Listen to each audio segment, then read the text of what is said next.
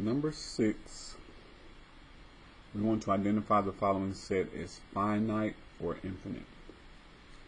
Finite means we can count the number of elements. Has a certain number we can stop at. Infinite means it goes on forever uh, to infinity, which is not a number, uh, not something that we can count to. In this set, we see 3, 6, 9, 12, and then we stop at 903. So since this pattern stops, we could definitely count the number of terms that are listed.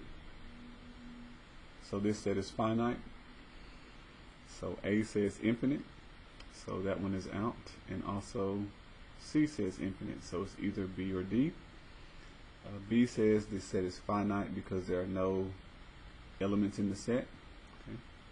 That would not be the definition of um, finite. And then D says the set is finite because the number of elements in the set is a whole number.